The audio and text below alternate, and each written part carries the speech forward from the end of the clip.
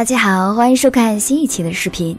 在酒店服务业发展如火如荼的当下，一个酒店必须要有特殊的魅力，才能够巩固客户源。所以，酒店竞争者都会从各个角度挖掘特色，尽最大可能让住客拥有极佳的入住体验。今天我们要给大家介绍的这个酒店，也算是中国建筑史上的一个奇迹。它将令人头疼的废弃深坑变成了别具一格的休闲娱乐一体式场所。它就是上海世贸深坑酒店。最初创建这个酒店的灵感来源于世贸集团董事局主席许荣茂先生。他认为被世人记住的建筑一定是能够将城市伤痕转变为瑰宝的。正是因为这样的理念，深坑酒店有了雏形，最终选址于天马山采石遗留矿坑，并采用特殊材料进行打造。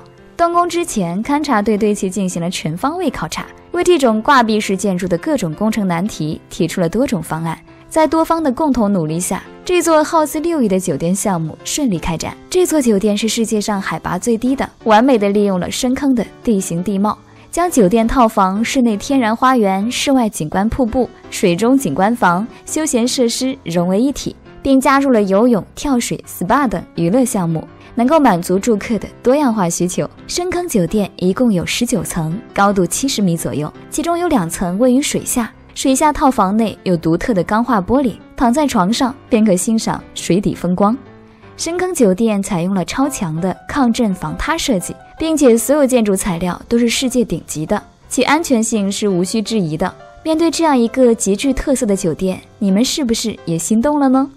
好了，今天就和大家介绍到这里，下一期会带大家去看更有意思的地方。欢迎大家点赞评论，喜欢我就请点击视频右下角的关注哦。